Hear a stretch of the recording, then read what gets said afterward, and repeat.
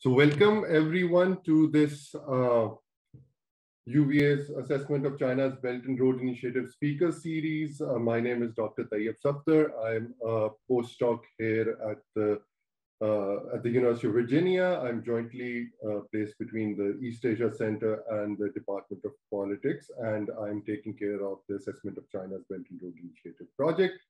Uh, the UVA BRI project is a multi-year initiative, and we are trying to understand what's going on uh, regarding the BRI in different parts of the world. There are a number of different, um, eh, you know, streams that we're taking care of in terms of, you know, the BRI and its impact uh, on the wider world. And one of the main sort of things that we're trying to do is to get information, to get brilliant scholars from across uh, the world to come and talk to us about what's happening with the BRI in different parts of the world because of its multiple implications um, for developing countries uh, across different parts of the world. So today we're extremely lucky to be joined by a brilliant scholar from Pakistan, Dr. Hasan Karrar, who's an associate professor at my alma mater, the Lahore University of Management Sciences. He's based at the Department of Humanities and Social Sciences. Uh, Dr. Karrar has been writing about the borderlands between Central Asia, China, uh, and Pakistan for quite a considerable period of time. Uh, and his research looks at uh, the evolution of this area and the economic and political changes that have taken place in this area, especially since the 1980s with the demise of the Soviet Union uh, and the opening up of China during this period as well. Uh, this is an area which is not very well understood, uh, in all honesty, despite this being one of those critical nodes as far as the ancient Belt and Road Initiative is concerned. so without further ado, Dr. Karrar, over to you. Uh, and just uh, as a side note, as an administrative matter, uh, Dr. Karrar will speak for 30 to 45 minutes, and then we'll follow this up with a question and answer session. Uh, please do not use the chat tab. Uh, please raise your hand, introduce yourself, uh, and then ask your question in person. Hasan, a pleasure to have you and uh, virtually. And over to you. Thank you very much for doing this. I know that it's quite late in Pakistan as well. So over to you, Hasan. Uh, thank you, thank you, thank you, Tayyab. Thank you uh, for this for this invitation to uh, share ideas, uh, share some thoughts, uh, sort of you know sort of delve into some of the research that that I've been building on BRI, especially as it pertains to um, northern Pakistan. thanks very much, Brian, for facilitating this project as this, this this this talk as well. It's really much appreciated. Um, just, just sort of, you know, one, one uh, sort of point that I want to make from the very outset. Uh, we, we sometimes have connectivity issues uh, sort of here in Lahore. Uh, and in case we do, in case you lose me uh, for a short while, I'll switch internet connections and I'll be back very, very shortly. Uh, so in case you find that the presentation is lagging or I've disappeared from the screen, I, I, I, will be back. Uh, but having said that, let me let me begin by pulling up my slides, and then we can get uh, started in earnest. And this is uh, what I will be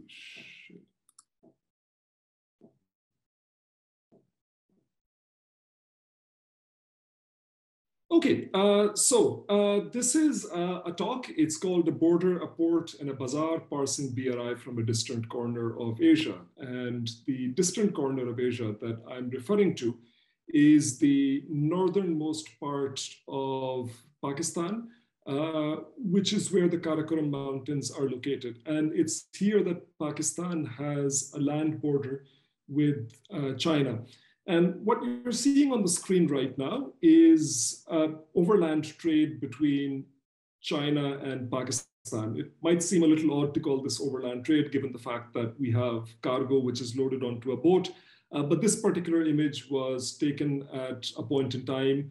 Um, specifically, it was taken in 2014 when a portion of the road had disappeared and uh, flood waters had uh, flooded the highway. And for a while, the cargo needed to be transported uh, over water as well. But regardless, Uh, this is what you would consider overland trade, trade that's coming in uh, from uh, Western China into northernmost Pakistan through the Karakoram Mountains uh, over the Karakoram uh, highway. And the other thing that I want to mention is that this constitutes uh, a very, very, very small portion of Pakistan's trade with China. So the large majority of trade between Pakistan and China is in fact maritime trade uh, from the coastal regions of China uh, to the port of Karachi in southern Pakistan. So uh, we're really talking about a minuscule trade. And that's one of the reasons uh, I'm calling this a distant corner of Asia. And I'll pull up a map in just a, a, a moment.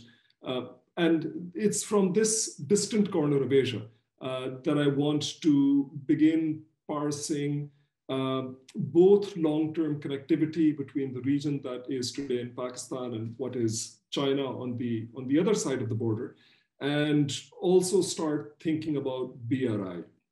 Now, the other thing that I want to say, and this is this is by way of caveat and this is by way of backgrounder. Uh, these observations are uh, place specific. I think that they have utility in thinking critically about BRI, but uh, sort of to what extent what I'm saying is going to be applicable to other parts of the world is obviously something that would vary from place to place. So I want to underscore the fact that uh, when I talk about BRI in this talk, I'm talking about how I see it from northern Pakistan. Um, this is uh, essentially what I'm going to be doing today. So, so up here I've got signposts. You know, this is my way of saying that. Look, you know, this is these are the four parts uh, that we'll be covering as far as uh, this talk is concerned. Uh, I'll begin briefly by talking about maps, the utility of these maps, what these maps might tell us, and then, of course, um, the need to uh, move into a map and move away from the map as well. And then once, once I've, I've, I've covered that, uh, I've got three uh, parts of the talk which will follow.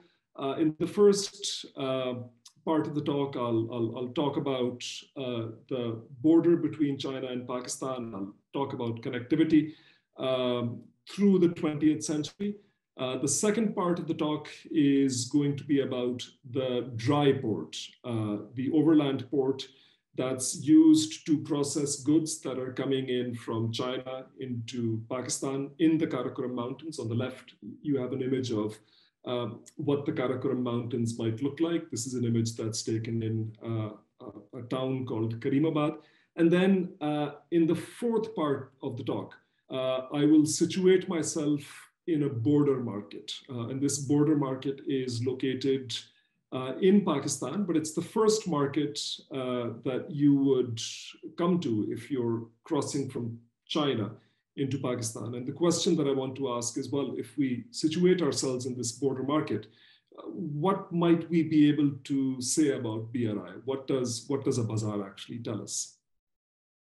Okay, so um, the map on the left is a variation on a map that we've all seen. I think anyone who's worked on BRI, uh, sort of even superficially, would have seen some such map. And I don't want to, I don't want to spend any amount of time uh, analyzing this. Besides saying that this is, it's a, it's a, it's a macro uh, vision of connectivity. It's a, it's a global vision of connectivity. Uh, where you have multiple economic corridors which are anchored in China, and then they extend seemingly effortlessly uh, across, across vast spaces. And this is, this is the, the typical view of, or this is our typical view of BRI. This is one way in which BRI is popularly uh, assessed and described. And on the right-hand side, you can see uh, that same map, uh, which is being localized in Pakistan. And this is the map of what is known as the China-Pakistan Economic Corridor, which is one of six economic corridors on BRI. And if you map, then towards top of towards the north, you can see how uh, there's a, a, corridor which is entering into Pakistan.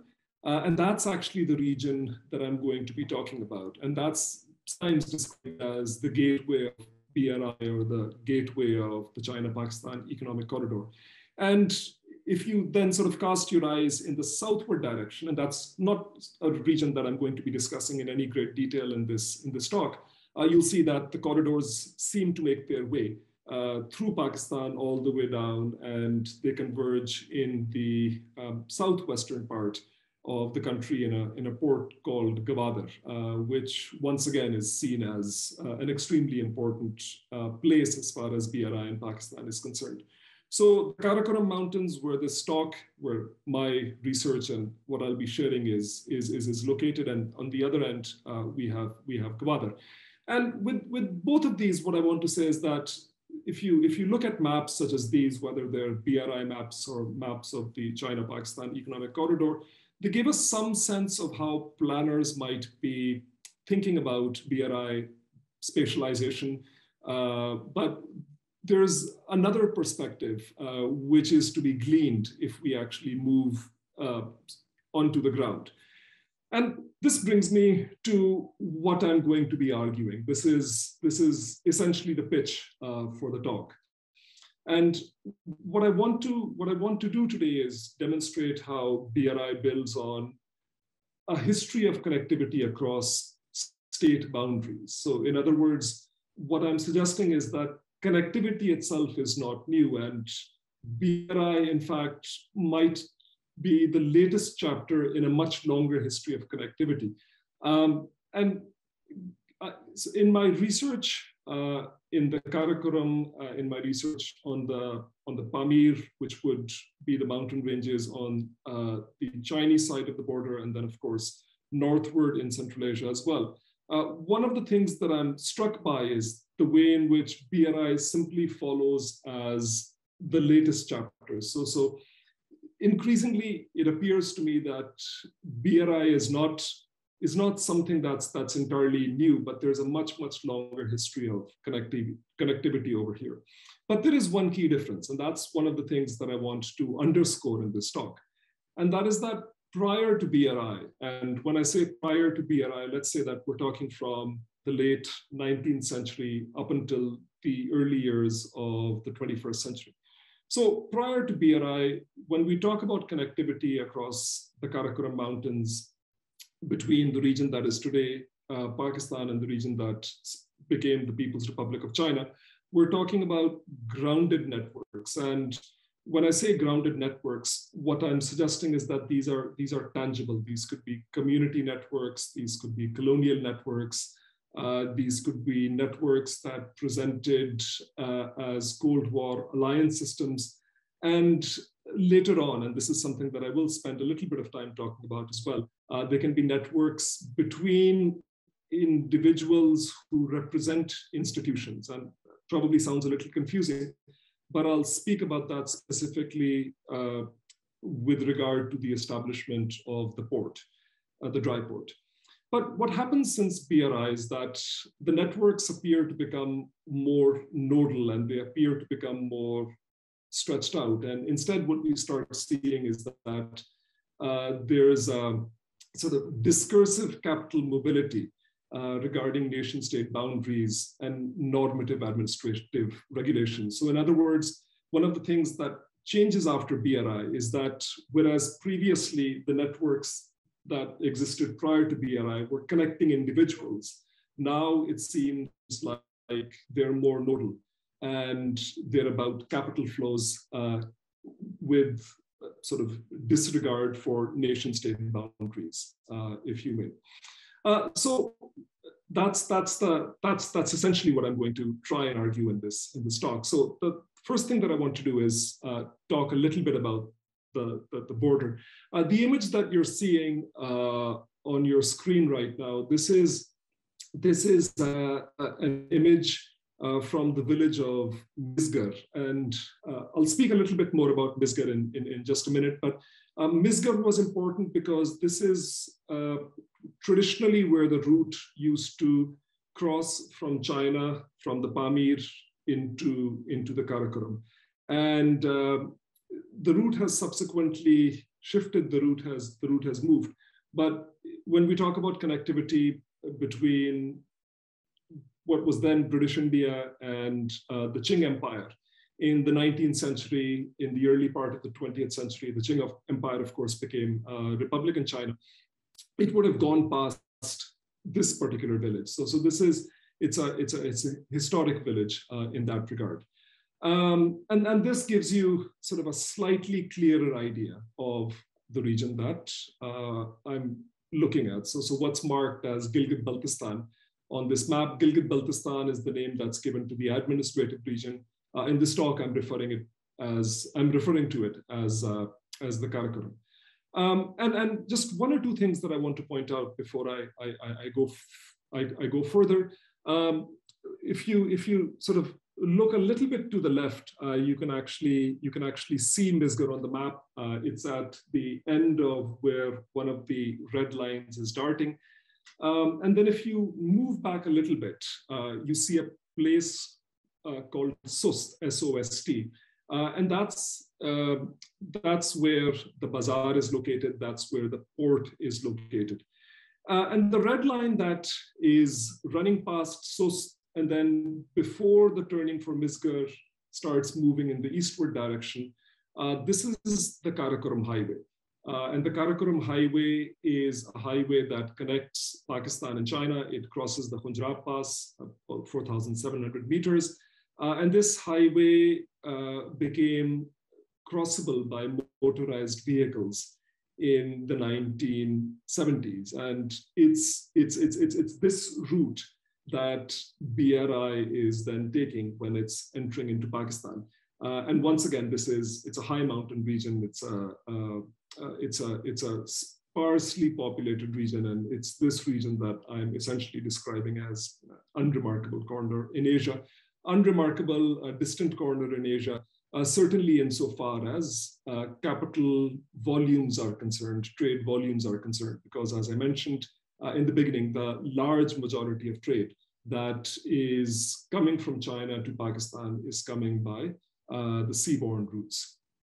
So I'll just very, very briefly run through this. I know the slide looks very busy, uh, and I don't want to spend too much time on this um, and, and, and, and go into too much detail. But you know, this is by way of saying that um, the, in the 19th century and then uh, into the 20th century, uh, we do find that this area is extremely networked. Uh, it's networked uh, insofar as connectivity with um, Afghanistan is concerned. It's networked as far as connectivity across the Karakoram with Republican China is concerned. Uh, first Qing China and then Republican China is concerned.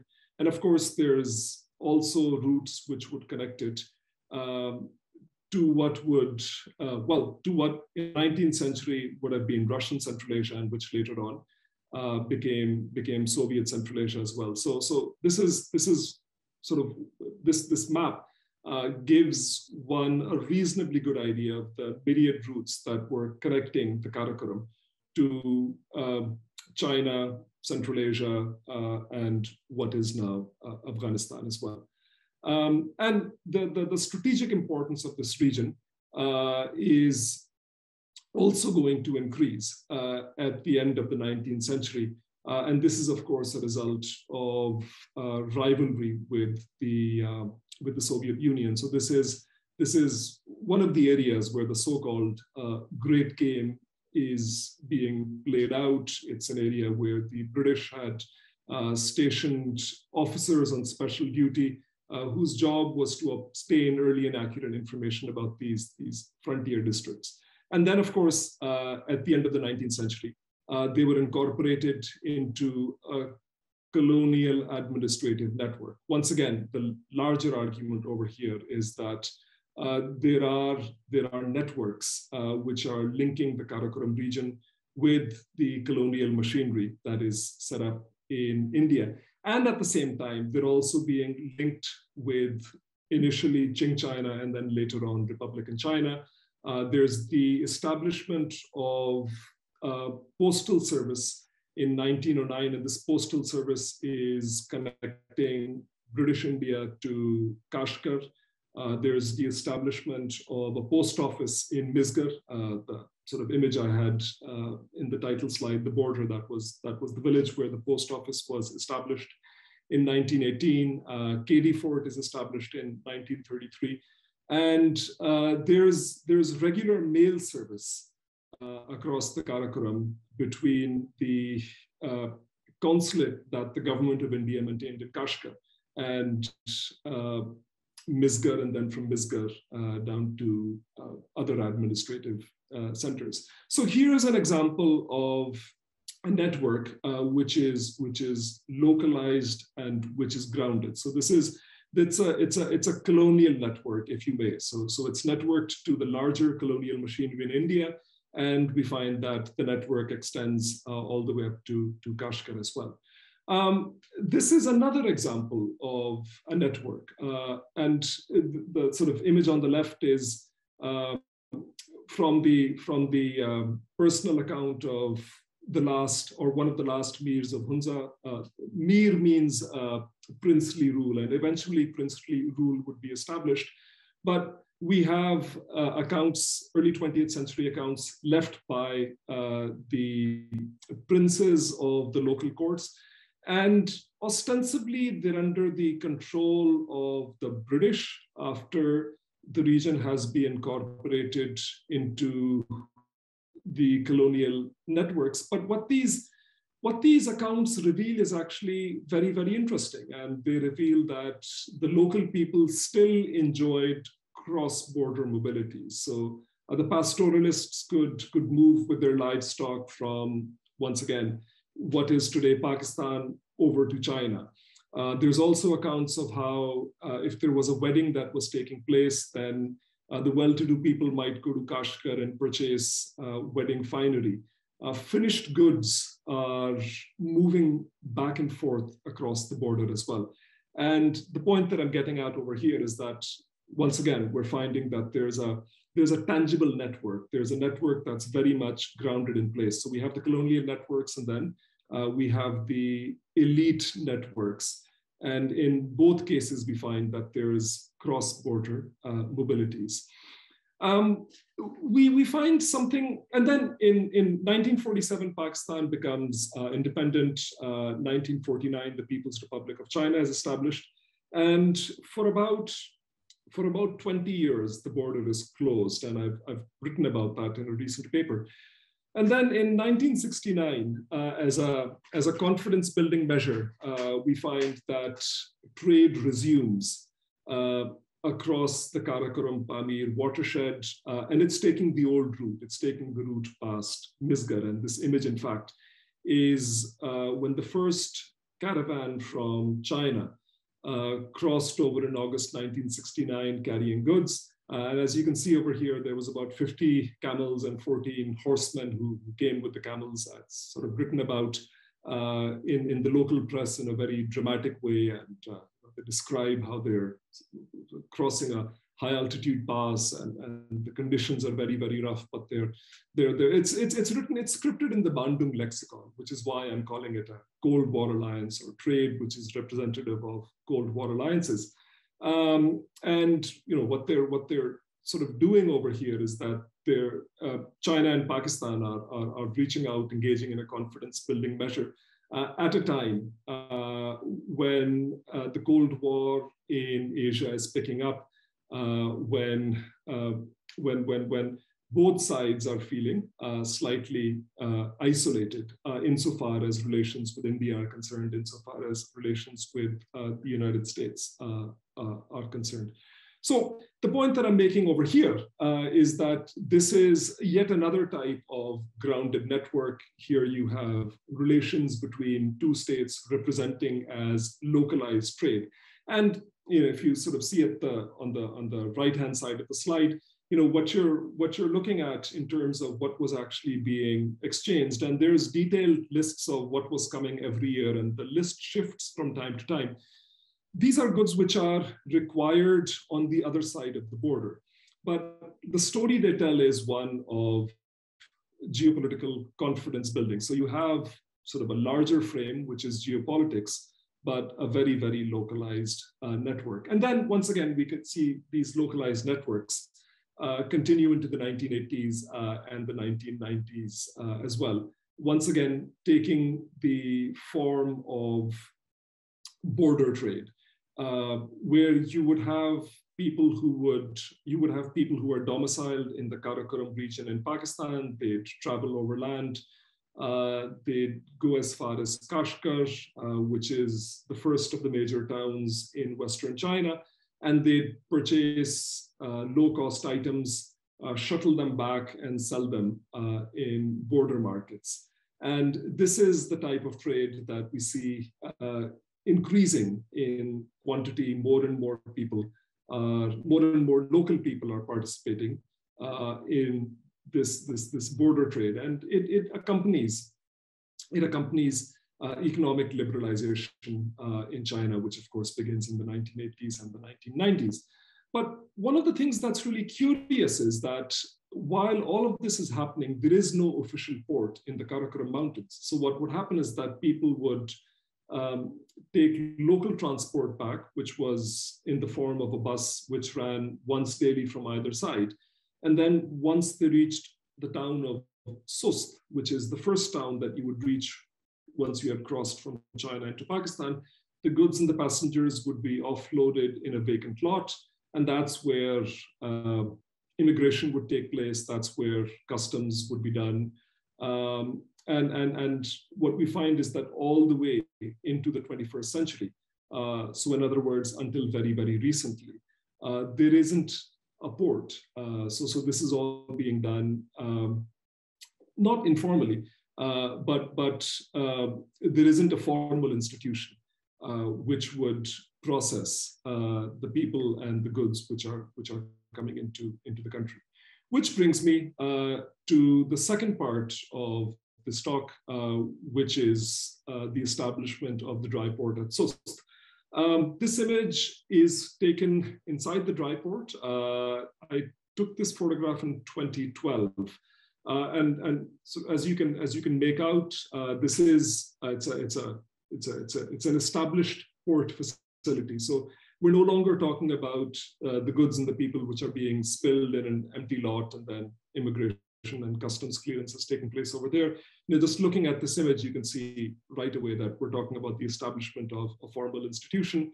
And then on the right, you can see um, a container truck. Uh, and if you look closely on these images, you can see that they've got Chinese license plates. So this is cross-border cargo. So this is now something different from what I had been describing earlier, which was local people crossing the border and peddling goods uh, back into Pakistan. This is something which is significantly more formalized uh, than what used to happen in the 1980s, the 1990s, and then into the early part of the 21st century uh, as well. Now, the port opens in 2006. Uh, planning for the port begins in 2002. And this is part of China's going out, uh, which is when Chinese companies and Chinese um, SOEs were encouraged to invest uh, overseas. And without going into, into too much detail, um, one of the things that I want to underscore is that the establishment of the dry port itself uh, represented networks of a different type, um, these were highly personalized networks, but networks nonetheless. And networking is, is, at, the, is at the center of the story. Now, there's two parties uh, which will come together and establish the dry port in 2006. Um, one of them, one of the parties, the lar- one of the parties is Sinotrans Xinjiang, and Sinotrans Xinjiang is a subsidiary of Sinotrans. Uh, Sinotrans is the largest uh, logistics integrator within, within China. So Sinotrans Xinjiang is going to provide the funding uh, and they're going to provide the funding to a local collective, which goes by the name of the Silk Route Dry Port Trust. Um, and the Silk Route Dry Port Trust is going to provide the land on which this port is going to be built. And together, Sinotrans Xinjiang and the trust are supposed to work together and they're supposed to run the port. They're supposed to manage the port. And there's a there's a 60-40 agreement uh, insofar as uh, the ownership structure of the port is concerned. Now, I want to speak uh, for a few minutes about these socialized uh, networks. Uh, Sinotrans Xinjiang relies on a on a broker uh, who has uh, he's he's highly highly networked and he has insider knowledge, uh, and his name is Yuan Jianmin, and Yuan Jianmin is has has has is, is said to have made over 150 visits to Pakistan since the 1980s and uh, he's not only representing Sinotrans Xinjiang. So if you if you look for Yuan in media accounts, uh, what you find is that during his different visits to Pakistan, he's representing uh, different institutions in China. And the reason why he is, I think, able to represent different institutions in China is because he has insider information. Uh, he knows the local norms. Uh, he knows the local traditions. Um, he he has knowledge that is essentially for this type of cross-border uh, brokerage. And the other thing that's very uh, thought-provoking about the way Yuan is described in the press, described in the media, is that whenever he's meeting with officials in Pakistan, he's always promising development and, and he's always signaling forward, he's always pointing towards, towards the future. So Yuan is, is uh, uh, sort of a broker who is highly, highly networked. And, and, and he's essential to the establishment of the port. Now, there's a broker on the other side as well. Uh, and the broker on the other side is someone who is a descendant from hereditary uh, families in North Pakistan. Uh, so he would be a descendant of the Mirs, uh, whom I had talked about earlier. Uh, he's someone who has close ties to the military regime, and uh, he's able to pressurize the local people to give up village land and he's promising to make them trustees uh, and he's promising them uh, dividends. Now, this is um, a satellite image of the region that I'm talking about. So, so you know, down here you have uh, the village of Sust, uh, and this um, is the bazaar that I'll, I'll, I'll, get to in just a few minutes. And these are uh, surrounding villages. Uh, so there's Sust, there's Husainabad, there's Khudabad. And up here, this is the dry port. Uh, so to get to the dry port, you would drive through the bazaar and then circle up to the dry port. And this was all village land. This land was owned by people in the surrounding villages. And the, the person that I was talking about who heads the trust, Mir Ghazanfar Ali Khan, uh, or Khan for, for, for, for shorthand, he's able to convince the villagers that, look, you know, give up this land, let's use it to build a port, and you will get dividends as uh, a trustee. That doesn't happen. Um, the, the, the port is mired in controversy from, from the very beginning. Um, there's there's a there's a long list of things that start going wrong, but pretty much from the time the port is opened in 2006, uh, we find that loans are being taken from a bank which are never repaid. Uh, eventually, the villagers uh, clue into the fact that well, we're not ever going to get dividends, and they start accusing Khan, uh, who is the chairperson of the Silk Road Trust of land grabbing, and they take the leadership to court. Um, the court shifts ownership of the trust to a competing party. Uh, the Chinese partners, the Chinese parties refuse to work with the new parties. There's um, a massive flare up between uh, the Chinese partners and the Pakistani partners. And uh, what we find is that uh, the, the, the, controversies at the port uh, continue to increase with, with time. And then this lands up in the court, and the court decides that neither the trust nor Sinotrans uh, Xinjiang is going to have control over the port. They're instead going to give management of the port to a branch of the military. And Sinotrans Xinjiang uh, withdraws from the Sust port and the curious thing about this is that it's happening just at the point in time when BRI is taking off. So as I conclude this part of the talk, I want to underscore two things over here. One is the fact that once again, we're, we're, we're seeing the importance of localized networks, um, deep insider knowledge, uh, people from different sides of the border initially willing to work together to establish a dry port, regardless of the fact that it, it, it, it the, the, the partnership doesn't work out. Uh, once again, I think what we're seeing over here is the importance of personalized networks.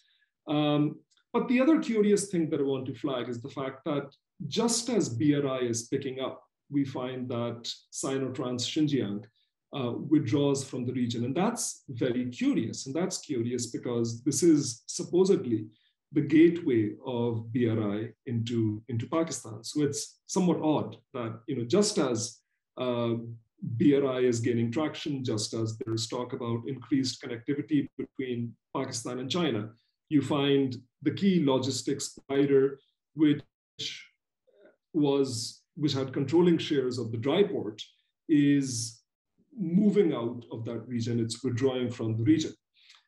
And interestingly enough, uh, the next time uh, one finds mention, mention of Yuan Jianming, um, who was the broker of, uh, who was the broker for Sinotrans Xinjiang, the next time we find mention of him is when uh, uh, the, is, is, is when the China-Pakistan economic corridor is opened, which is to say that you have a convoy which travels from the land border at Khunjerab in the Karakoram all the way through the country to Gwadar. Uh, and the first ship uh, leaves Gwadar. So, so and and and uh, so at Gwadar, uh, you have uh, you have the Pakistani Prime Minister, you have uh, the Chief of Army Staff, and of course you have you have Yuan as well. So that that is essentially demonstrating how you, we're leaving behind something which is very localized, which is very much grounded in place. Uh, and the attention has now shifted to uh, sort of a, the China-Pakistan economic corridor as a whole uh, in its in its broader spatialization. So, so now it's no longer a question of running a, a particular port in this distant part of the country, but the, the, the, the frame all of a sudden has become much, much bigger and much more uh, ambitious. Um, and finally, uh, in the final part of this talk, uh, I want to talk a little bit about the bazaar that's by the dry port. So, so this is this is an image that uh, I took in 2016, and uh, sort of if you go down this road uh, for another 75 kilometers, you would you would reach Khunjerab, the border between Pakistan and China. And if you followed the road um, sort of out of the frame towards the right hand side, uh, you would you would come to the dry port. And the other uh, the other thing that I want to point out, which is which is fairly obvious, uh, is the fact that the, the shops that you're seeing in this image uh, are empty uh, and, and, and in fact unoccupied. And the same is true for this for this border market. And the border market doesn't really extend very much beyond what you're looking at uh, in this image. It's, it's, it's really, it's, it's barely a kilometer long. It's the sort of thing, you know, where one would say that if you, if you blink, you will miss it. Um, so it's a, it's, a, it's a small market, it's a nondescript market. And one of the things I find curious is the fact that this is the first market that one would, one would reach if one was coming from, from China. So from the very outset, it's anomalous that there is so little activity which is which is taking place in this market. Um, the, the, the market the market emerges in the early 1990s. So uh, I had mentioned earlier that in the 1980s, peddling across the border had begun. Uh, and by the 1990s, there's a there's a small market uh, sort of in this in this locale, uh, and and it was never busy, but it was an indicator of cross-border familial ethnic ties, uh, if you may. Now, sort of speaking more specifically about what's been happening there recently, uh, in, and I've, I've, I've, been to this particular market uh, for the purpose of gauging connectivity, for the purpose of figuring out what's going on. I've been there about five or six times in the last, uh, in the last 10 years. Um, and in 2016, I actually, uh, with a research assistant, went from, from, from shop to shop to shop to shop, and we, um, we, we, we, counted the number of shops. We, we made a map of the market as well. And uh, what we found at that time was that there was about 240 shops, and uh, about a third of them um, uh, were, were empty, or they were actually they were actually never um, never occupied. That might be fine, and one could one could even say that look, I mean, this is this is speculation. This is simply people hedging on the fact that at some later point in time, uh, there is going to be greater trade between China and Pakistan. So, you know, one could one could work with that assumption. But what's also very curious is that the traders, the shopkeepers, they say that trading has actually declined uh, since, since BRI. And what they're saying is that uh, with BRI, a new border regime has been put in place, which makes it difficult to self import goods. And this leads me to conclude that, um, or this helps me move towards the conclusion that BRI is is, is nodal. So what you have is mobility and connectivity between two points. And the places in between, small border markets, uh, such as Sust, for example, uh, they don't really feature uh, into how, how BRI is, is actually being um, planned and envisioned. And one of the questions that I, I, I usually pose to uh, local people is, well, how have you benefited uh, since BRI?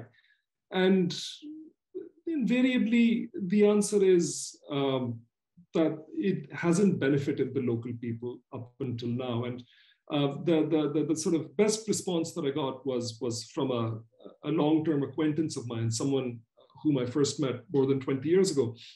And he said that uh, you know, we just we just sit here watching the big cargo roll past us. You know, other people say that you know we're just sitting here watching the watching the containers roll past, and that's why I thought these two images were were, were kind of um, um, revealing of, of, of, of, the market. Um, uh, uh, so, and the two realities of the market. So the volume of of, of, of trucks, the, the number of uh, vehicles coming into into, into Pakistan from China has increased substantially. So I think it was 2017. Uh, I sort of remember just just uh, standing in the in the bazaar and just walking these watching these trucks roll by. That's that's the day I took this image on the right.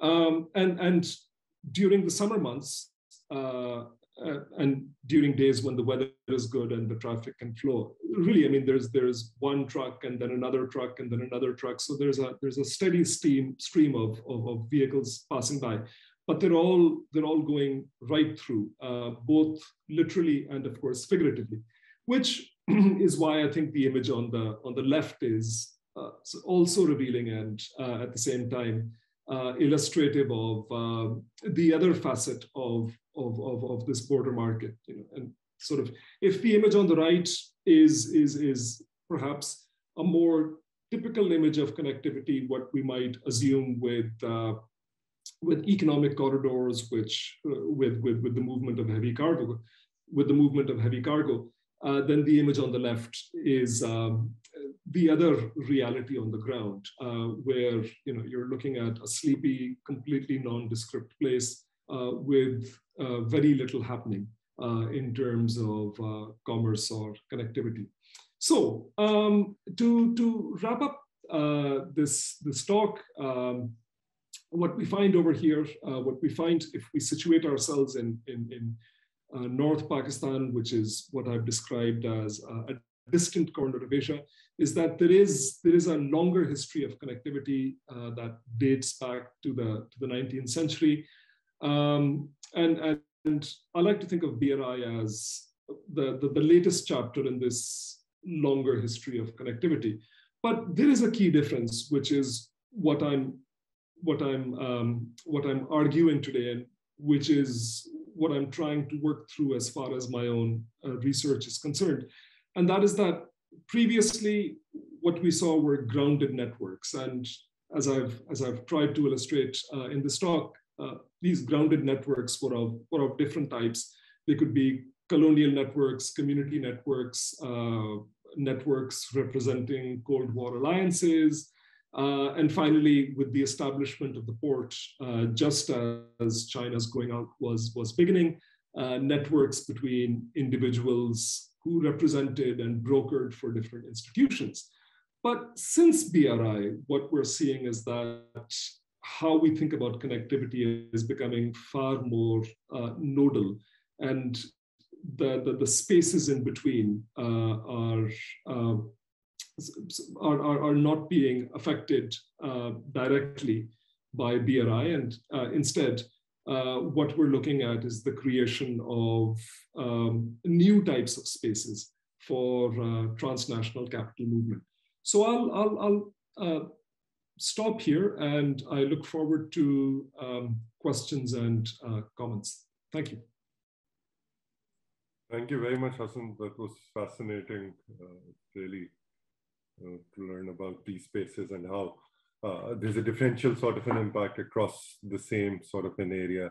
Uh, so we now move to uh, questions. Uh, please, as I said, uh, raise your hand, unmute yourself, introduce yourself, and please ask your question.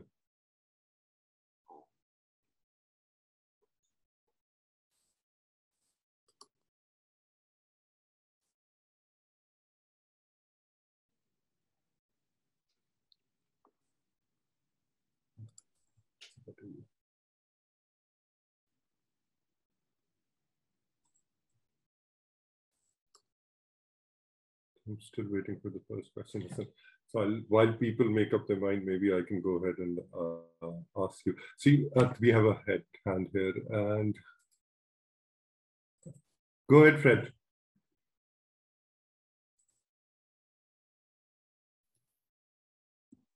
I think I'm unmuted now. Can you hear yes, me? Yes, you are, Fred. We can hear you. Okay, I'm sorry I came in very late because of computer problems, but I really enjoyed what I heard. Unfortunately, my question uh, may have been covered when you began. Uh, I began when you were uh, uh transitioning from the end of the colonial period. And I was wondering, but you were also talking about the exchange of things for weddings and that like. Does that mean that there was some connection across this area for the last 300 and 500, um, 2000 years? So is this really a, an old network that's now being transformed? So there is. Um, that's th thank you for that. I mean, it's it's a uh, it's a it's a it's a good question. Um, so there is there is there is certainly cross-border mobility that goes back a long, long time. Um, in a course that I'm teaching right now, uh, we're reading uh, Valerie Hansen's uh, account of the Silk Road in the first 1,000 years of the Common Era. And uh, she's describing uh, the movement of people um, following the same routes that I'm talking about uh, in the 19th and the, and the 20th century. So certainly uh, these routes have been traveled, these routes have been, have been traversed, uh, and that's been happening uh, through much of the Common Era. Uh, and when we, when we, when we get to uh, when we get to the late 19th century uh, and the early 20th century, uh, once again, what we're what we're looking at is reasonably frequent uh, crossing of the border.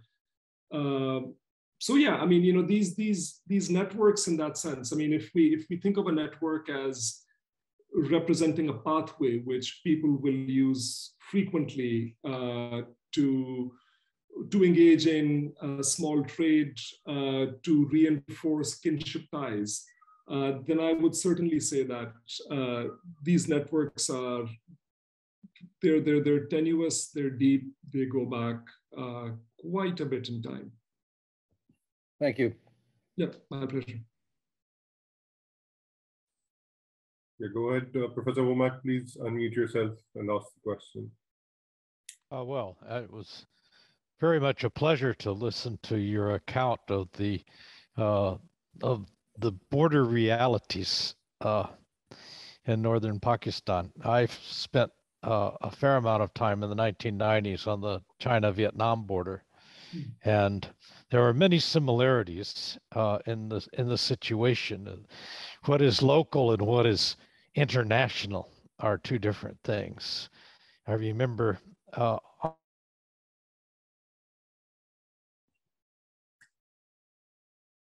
your voice uh, broke up, uh, Professor Womack. We can't hear you. Nice. And yeah, you're back now. Uh, so, so, we missed. sorry, we missed some part of your talk because your voice. Oh, okay. My my connection is always bad. I I share that with Pakistani villagers, perhaps. um, but um, in any case, they were selling rice, Chinese rice, on the Vietnamese side of the border. And I was astonished because Vietnam is one of the world's top exporters of rice. And I thought, aha, mm-hmm. you know, there's some sort of other trade going on. And so I asked the people at the at the stand, why are you buying? Why are you buying and selling Chinese rice? And their answer was, it's cheaper. Mm. they're going to, when you're on a border, you can go to this store or the other store. And it just happens to be that one store's in China and one store's in Vietnam. Yeah. You know, so uh, it's a very particular connection at the border. And at least in Vietnam and China during the 1990s and beyond, there was a uh, a system of uh, special allowances for border traders and border trade within a certain distance of the border that I thought was a very nice accommodation of border realities versus international realities. I wonder if you have that same kind of, if that persists, because I haven't been back to the border, oh, in 20 years now. So so yeah, I mean, thank you for that. I mean, uh, absolutely, it's the it's a similar. Uh, it used to be a similar arrangement. So in 1986, uh, Pakistan and China signed a border trading agreement, which basically meant that people who were domiciled in the border areas could cross overland, travel as far as Kashgar, uh, purchase merchandise over there, and then bring it back.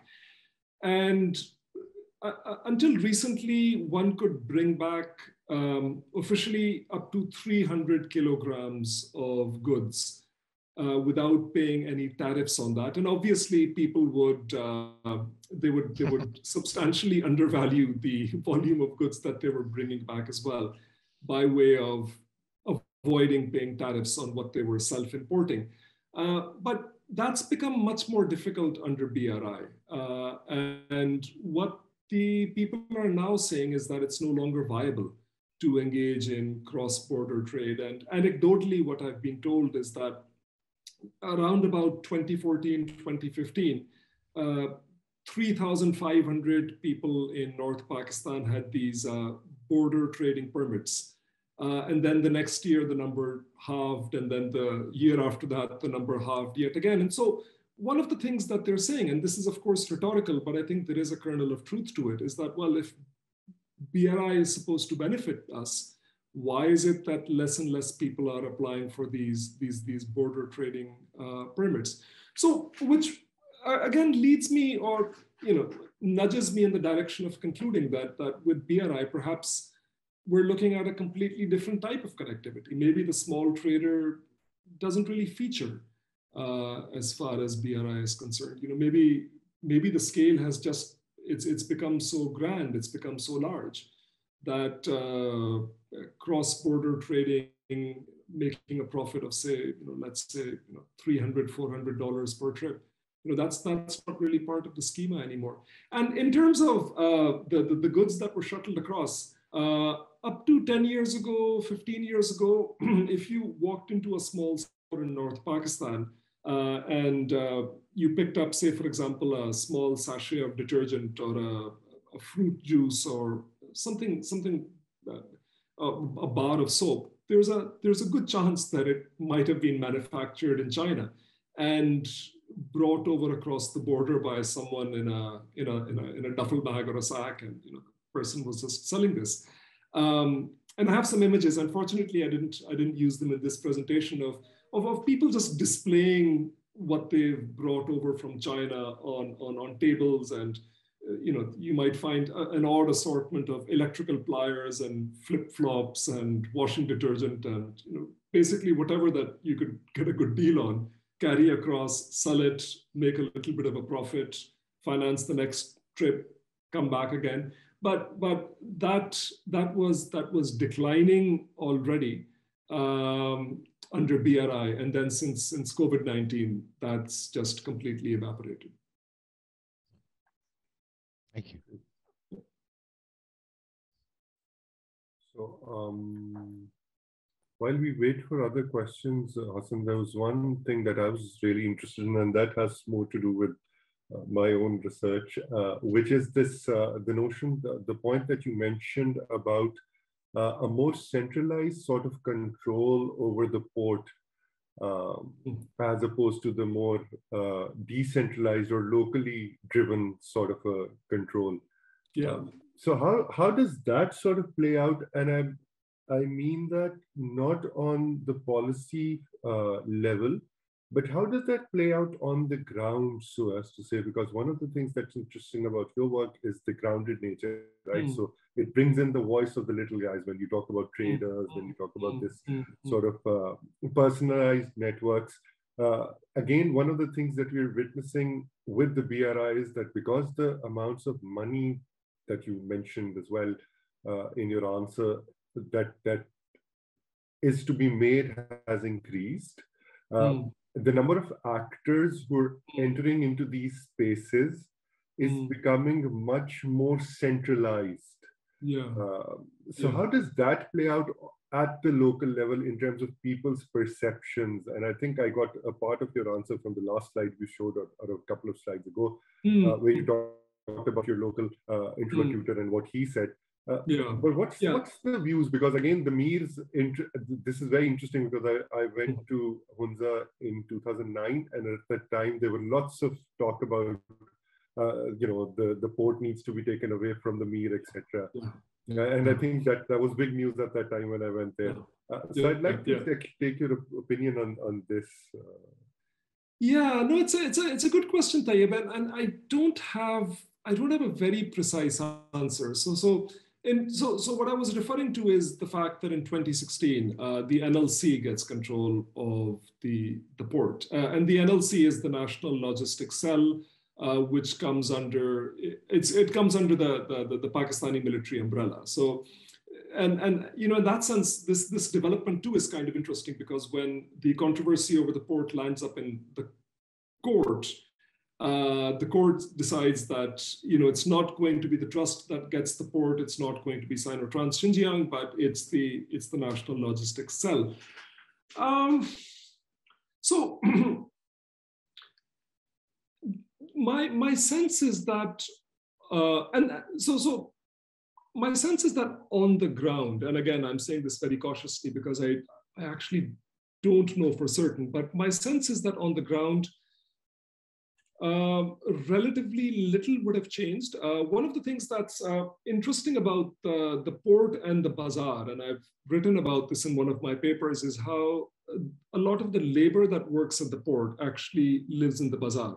Mm-hmm. So it's a, it's a very curious place because it's not a bazaar that's linked to any of the villages. Uh, it's two kilometers away from Sust. It's sometimes called Sust Bazaar, but in actual fact, it, it was an area that was developed by someone called Afiyat Khan in the 1980s, and hence the bazaar became Afiyatabad. Uh, and then within this bazaar, you have you have dormitories which are used by the labor that works at the port. My sense is that that dynamic doesn't really change, but it is a good question. And when I when I go back there, which actually might be might be very soon, because you know I, I somehow you know recently I just find myself ending up there every year. Uh, I'll, I'll, I'll certainly follow up on that. I, it's it's a nice place to go to. You know, it's it's, it's no absolutely. It's it's you know field work in a yeah, no, absolutely. It's the yeah. it's the benefits of fieldwork in in a in a in a rather spectacular setting. Yeah. True, true, true. Uh, so we're waiting for another question. Please do ask your questions. We're, we're waiting uh, for you to ask. Uh, Hasan, please go ahead and raise your hand.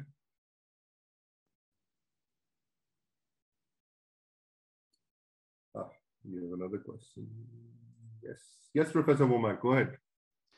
Um, well, uh, let me ask a different sort of question. Uh, and that is, it seems to me that from the point of view of a shipper in China who's basically looking at a market or a market purchaser, wholesale purchaser in in Pakistan, in in Lahore, wherever, uh, they would look on any type of time spent or anything that they had to do on the border would be a transaction cost to them. Mm-hmm. So, in, in, a sense, the no, the nodes thin themselves out and become more distant because of the efficiency of the system and the avoidance of unnecessary costs. And so the border loses as an unnecessary cost if there's a stop or if there's a transfer from one kind of truck to another kind of truck, or even if there's a, a, a even if the customs uh, uh,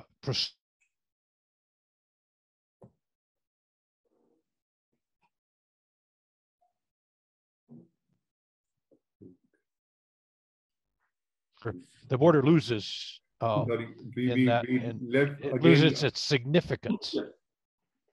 Yeah, go ahead. Sorry, we, we stopped hearing you in between. I'm sorry.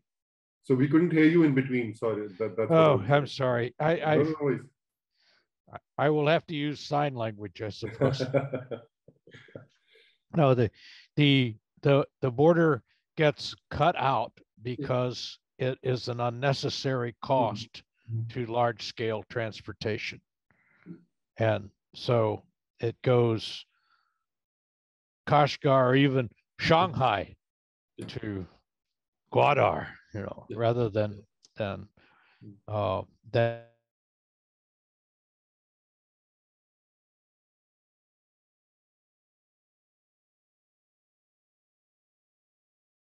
transport much hmm. its Belt and Road Initiative policies versus an evolution of trade. Yeah.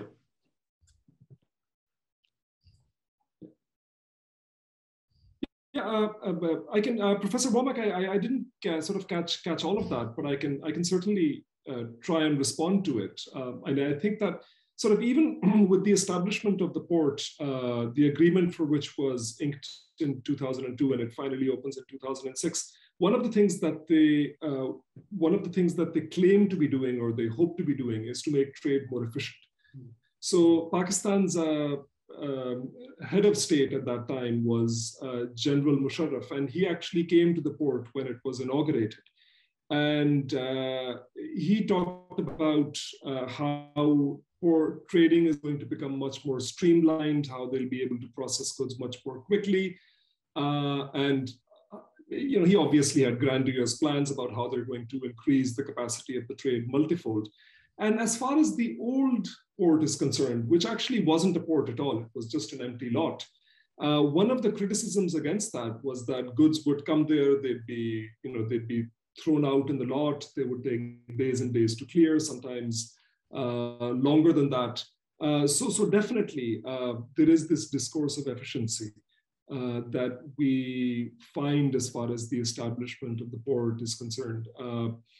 and my my my guess is that that discourse of actually not guess, but I can say this with, with a degree of, of, of, of confidence, but with the with the national logistics cell, uh, that uh, discourse of efficiency is uh, sort of ratcheted up a notch. Uh, uh, the National Logistics Cell and the Frontier Works organization uh, are both construction slash logistics arms of, of the military, and they've got very snazzy websites. I mean, I've I've visited their websites on a number of occasions, and uh, one of the things that that that they they, they promise is uh, efficiency in moving goods. Uh, they run other dry ports in the country as well.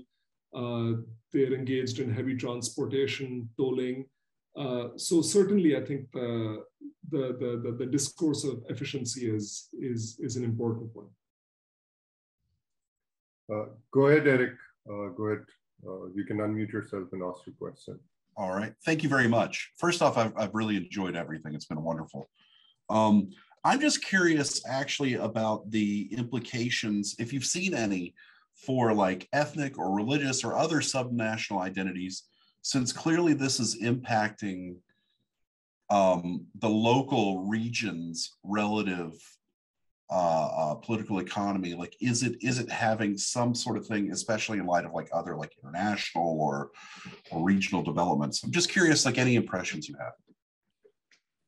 Thank you. Uh, yeah, no, it's an excellent question, and it's one that um, one that I've, I've, I've I've tried to engage with uh, uh, elsewhere. So one of the uh, so so uh, early uh, sort of in the in the talk I talked about um, I talked about local networks and um, one of the things that one would hear quite frequently is people on the Pakistan side of the border uh, saying that they have kin uh, on the on the other side of the border, and in particular the uh, Tajik or Wakhi speaking people claiming that they have kin right on the other side in uh, Tashkurgan in westernmost China, and they used to speak about their kin with a fair degree of affinity even though very often they couldn't actually name anyone. So, you know, they would they would talk about their kin, they would talk about their family on the other side. And and and you know, these these were long-term acquaintances of mine. And I'd be like, okay, well, you know, who's there? You know, give me, you know, give me a concrete example. How are you related to them? And and and they, they, they couldn't. But there is that, that idea of kinship by virtue of an imagined history, an imagined shared history in the 19th century, the early 20th century. And of course, the fact that they speak the same language. Speaking the same language is uh, profoundly important. Uh, and there's a there's a there's a, a, a, term that one would use in Urdu, hamzaban. So you know the fact that you you share a tongue, you you sort of automatically gives you uh, a very high degree of affinity. And what what, what, what I sort of try to suggest in this paper is that as these cross-border mobilities become less, uh, that affinity across the border, even if it was imagined, uh, begins to change as well. So, you know, in that sense, what we what we see over here is a transformation in how local people think about bordering as well. Um, and, and, and it's, a, it's a gradual transformation, uh, but certainly one that over a couple of decades I've been able to, to discern. Thank you. You're welcome. So um, do we have any other questions? Again, while we're waiting for questions, and I'll uh, pester you a little more. Mm-hmm. Um, so one of the, again, uh, so the volume of trade is most definitely one of the things that, that you showed is the inhospitable nature uh, of the terrain uh, in many ways, which sort of contributes to the reduction in volume of trade between uh, Pakistan, the mainland, so as to say, and this peripheral region. Uh, how does that play out uh, over time, especially with the bazaar and the labor that we talked about? Uh, because I know that in the winters, the port and the borders closed.